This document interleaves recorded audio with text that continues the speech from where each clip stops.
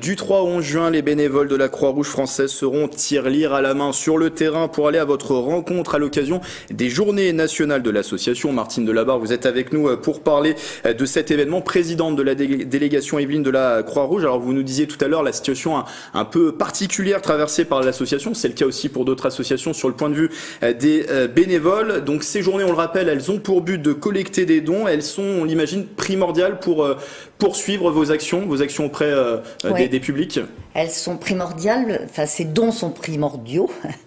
Parce qu'on a besoin localement d'argent pour faire nos actions, comme euh, tout simplement. Et effectivement, avec les crises, les épidémies qu'on a eues, suivi des crises et de, l'inflation, c'est compliqué euh, pour les personnes de se nourrir. Euh, ils ont des besoins qui ont beaucoup augmenté. Et nous, en fait, on nous demande beaucoup, hmm. beaucoup. Donc il faut donner à la Croix-Rouge, puisque c'est les journées nationales de la Croix-Rouge, bien sûr, entre le 3 et le 11 novembre. Vous disiez plus 22% euh, du nombre de, personnes, accueillies, ça c'est au niveau national Oui, mais qu'on sait dans les, Yvelines également, dans, dans, les 11 épiceries sociales que nous avons, ainsi que le camion mobile que nous avions Croix-Rouge-sur-Roue, que nous avons également. Donc c'est vrai que ces journées nationales, c'est aussi une, journée de reconnaissance pour les 2000 bénévoles que nous sommes dans les Yvelines et pour les 600 salariés qu'il y a également dans les, dans les Yvelines. C'est une journée de cohésion, enfin une semaine de cohésion mmh. très importante et, qui va nous permettre de, de, faire des actions donc alimentaires, ça je vous en ai parlé. Mais il y a d'autres actions, c'est vrai qu'on connaît l'action bah, alimentaire en premier lieu, mais d'autres actions sont assurées par la Croix-Rouge. vous savez que nous, nous gérons l'urgence, nous devons répondre, nous sommes auxiliaires de l'État, donc nous répondons lorsque l'État nous déclenche pour euh, tout, pour tout, un incendie, tout ce que vous voulez. Et là, nous avons des coûts. Quand on montre un centre d'accueil, il nous faut des lits qu'on doit changer souvent, des lits picots qu'on monte. Un jour, vous viendrez apprendre comment on fait. Non, non, mais c'est voilà, on a beaucoup de matériel euh, à acheter. Quand on fait des formations au grand public, même si elles sont payantes, quand on doit renouveler le matériel de formation au premier secours mmh. grand public, bah, on a besoin d'argent.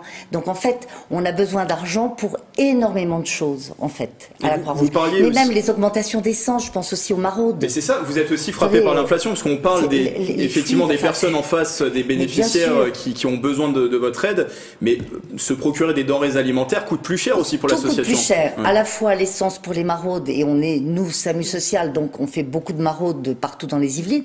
Les Yvelines, c'est un grand, grand territoire. Hein. Donc quand on part du nord, enfin, on essaie de répartir pour pas... Le, DF, hein, tout ce qui est électricité, c'est vrai que tout ça, ça a augmenté, on le prend de plein fouet. Donc euh, effectivement, on a vraiment euh, beaucoup de dépenses qui ont augmenté. Donc n'hésitez pas vraiment, donnez, même un euro, je veux dire vraiment. Un euro, c'est l'équivalent d'un repas, c'est ça exactement. Avec un euro, on peut déjà aider l'association. Ah oui, oui, non mais un, euro, il n'y a aucun problème. Moi, je prends même 50 centimes. non mais effectivement, il faut donner. Il y a plusieurs manières. Alors je ne sais pas si vous allez me le demander de donner. Alors nous, on, a relayé celle par SMS notamment. On peut faire un don de 5 euros en envoyant don 78 au 92 200. Voilà, exactement. Exactement. Il y a aussi tout ce qui est produits d'hygiène pour les mamans et les enfants. Je vous le dis parce qu'on a une augmentation énorme de familles avec maman et enfants en bas âge euh, qui viennent nous voir. On a des espaces bébés-parents et vraiment on a de gros, gros besoins. Voilà, je, je Besoin bénévole aussi, on peut être bénévole d'un jour, jour, pour euh, ces journées ou ah, peut-être bénévole toujours euh, sur, pour la Croix-Rouge. Ou à votre demande, c'est là où nous on va s'adapter, voyez. Effectivement, rejoignez-nous, venez quêter une heure et demie, ça nous fera une heure et demie un tronc qui va se remplir. vraiment, voilà, vous pouvez venir nous rejoindre. Vous avez 16 unités locales réparties dans les Yvelines.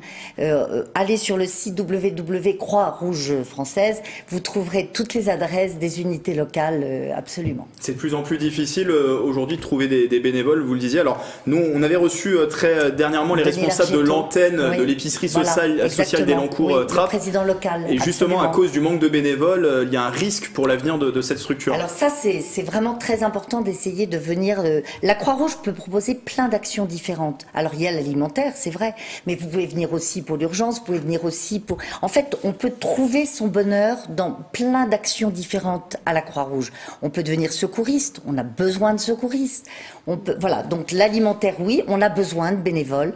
Et puis nous, on va essayer de faire évoluer nos horaires, de mmh. pouvoir...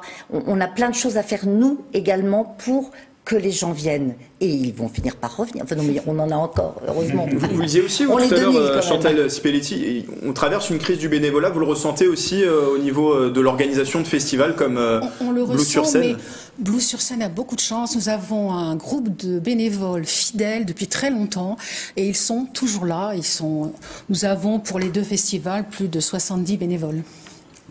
Un dernier mot, euh, Martine Oui, Delabarre, sur euh, quel appel vous souhaitez passer aux téléspectateurs? À, à l'orée de ces journées Ben, écoutez, vraiment, vous allez trouver des bénévoles sur tous les croisements des, gros carrefours, dans les marchés, dans les supermarchés. Faites-leur le meilleur accueil. Voilà. Si, si vous, je crois que nous, on nous voit souvent dans les routes, on nous voit souvent en urgence.